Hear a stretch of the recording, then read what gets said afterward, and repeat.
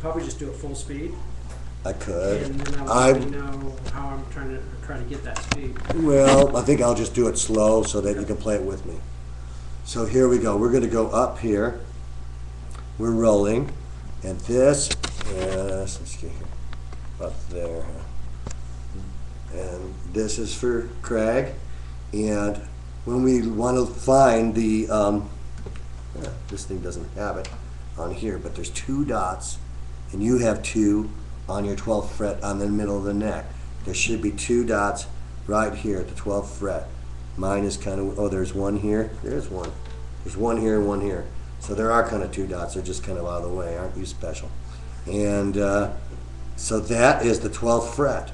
So what we want is the 10th fret, so we can move back down two from there. And we want a, uh, a power chord, either index on the 10th fret, 6th string, and third finger on the 5th string uh, at the 12th fret, and fourth finger on the 12th fret, 4th string. So we hit this. Either that, or we can hit these two fingers that we're using our third and fourth finger for. We could bar those two strings. So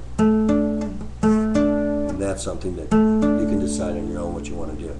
All right, and we're going to go like this, just like the tablature goes.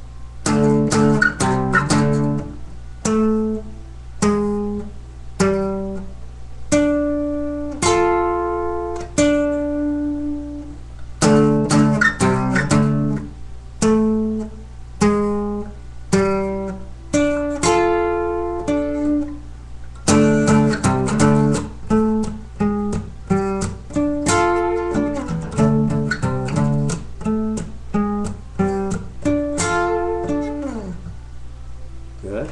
That's good. What else? That's about it, huh? That's it. Cool. So